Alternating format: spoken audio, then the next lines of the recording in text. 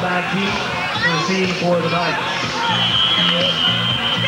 They recruit Tim Johnson on the hold.